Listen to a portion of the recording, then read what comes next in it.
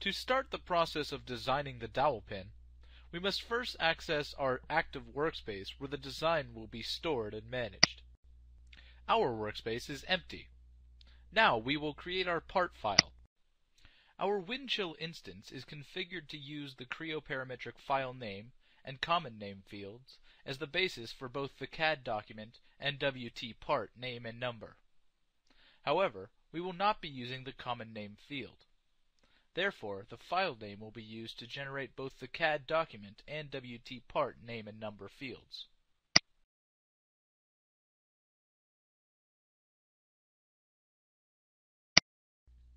Now we are ready to model our part. We will select the front datum plane as our sketch plane. We will use the circle tool to sketch the outer surface of the dowel pin. We will specify the intersection of the three datum planes as the center of the circle. We know that the diameter of the dowel pin is 4 millimeters, so we will edit the diameter dimension to set this value.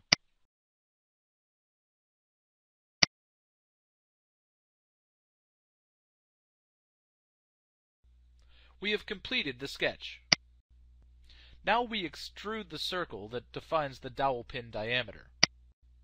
Once again, we know the length dimension of the dowel pin is 15 millimeters.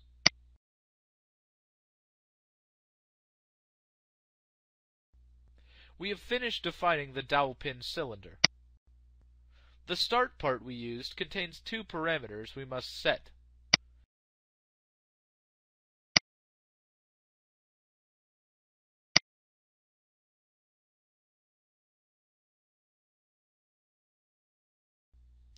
The facility parameter enables us to identify the manufacturing plant associated with the part or assembly. Our administrator has established restricted values for the facility parameter. Therefore, the value field activates a drop-down menu. We are presented with a set of options associated with our three manufacturing sites. California, CA, Mexico, MX, and Texas, TX. This part will be associated with our manufacturing plant in Texas. We have finished setting our parameter values. We have finished defining our part. We are now interested in sharing our design information by checking the part into Windchill. We conduct the check-in operation through a set of deliberate steps to review the save, upload, and check-in operations, to understand the differences between these functions, and to identify where the saved information is stored. We will also use a standalone web browser, Internet Explorer, to compare the difference in capabilities of the Creo Parametric embedded web browser and the standalone web browser. We will start by reviewing the part file in session. Before we conduct the save operation, we will validate that, while the part exists in session, the part does not exist in the workspace. Observe the in-session files. Our workspace is empty and unaware that the file exists. Now we will conduct the save operation. Observe the empty workspace. Notice the common folders nodes of the Save Object window appear dimmed. While Creo Parametric is connected to Windchill, we are restricted to saving our designs to the workspace. Now we will view the workspace contents. We must refresh the web page to update the information. A CAD document for the pin part appears in the workspace. Because we conducted a save operation, the Creo parametric part file is stored in a local workspace cache. We will verify this by using a standalone web browser, Internet Explorer, and observing the workspace contents. Since the standalone web browser is unaware of our local workspace cache, we should not see the CAD document. Observe that the object was added to the workspace. We have an Internet Explorer window logged onto Windchill, viewing the dowelpin workspace. Notice that the workspace is empty. The standalone web browser is unaware of the local workspace cache and, therefore, unaware of our design file stored there. This verifies two things. First, the part file is stored in a local workspace cache, and second, the Creo Parametric web browser provides additional functionality beyond the standalone web browser to effectively manage Creo Parametric files in Windchill. Because files in the workspace cache are susceptible to local file system issues, such as viruses or hard disk failures, it is not a recommended best practice to store files long term in the local workspace cache. We will restore the Creo parametric window to perform the upload operation. Observe the empty workspace. The upload operation uploads files stored in the local workspace cache to the server-side workspace.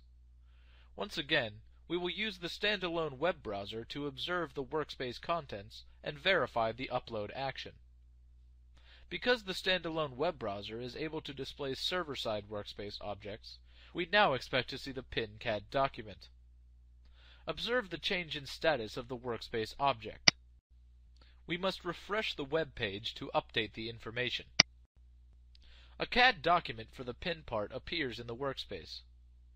Because we conducted an upload operation, the Creo parametric part file is now stored and available in the server-side workspace. This enables us to use the standalone web browser to update attribute information for the CAD document. Also, having the content stored in the server-side workspace provides additional security as the content is protected by our implementation's backup and recovery process. It is a best practice to upload design files to store and safeguard design changes. Before we conduct the check-in operation, we will validate that the part does not exist in the shared context, common space. Observe the object in the workspace. The dowel pin part does not exist in the standard parts library. Therefore, it has not been shared in the Windchill system we will restore the Creo parametric window to perform the check-in operation. Observe that the pin underscore dowel underscore 4mm by 15mm CAD document is not in the folder contents table. We are presented with the check-in wizard, which has two steps. The Collect Objects step window enables us to collect the desired objects upon which to conduct the check-in action we have the option of applying different configurations or selecting various dependencies to include or exclude objects from the list.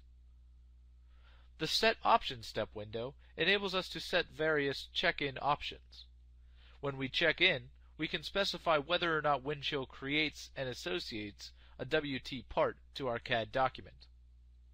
We do not need to collect any additional objects, so we continue with the check-in operation we are presented with the Set Options wizard. The only option we need to set is the Auto Associate Parts to CAD Documents. This option will check the common space for an existing WT part that has a number that matches our CAD document number. If it does not locate a match, then it creates a WT part with a matching number and associates it to the CAD document. If it does find a match, it associates the existing WT part to this CAD document.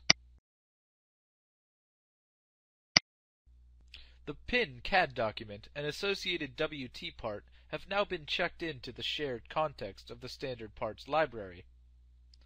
Once again, we will use the standalone web browser to observe the standard parts library and verify the check-in action. We must refresh the web page to update the information. The dowelpin CAD document now appears in the folder contents table. We have shared our design with other users who have access to the standard parts library. Our administrator has created and mapped two CAD document attributes to the Creo parametric parameters of description and facility. Therefore, we should be able to see the values we set for those parameters on the CAD document's information page. If necessary, scroll down and observe that the pin dowel 4mm by 15mm CAD document and WT part are now in the folder contents table. The description parameter has been mapped to an attribute called description, and the facility parameter has been mapped to an attribute called facility. Notice that the values we set in the design file are reflected in the attribute values. Our administrator also mapped the CAD document attributes facility, and description to the WT parts. We now will browse to the associated WT part and look at its attributes. Observe the information page of the CAD document and the values in the object-specific table. The Related Objects tab provides us with access to any objects that have an association to this CAD document. We want to see the related WT part. The WT part appears in the parts table. We want to navigate to the WT part information page. The pin underscore dowel underscore 4mm by 15mm WT parts information page appears. The attributes can be found in the Details tab. If necessary, select the Details tab and observe the facility and description attributes and their values. This completes the exercise.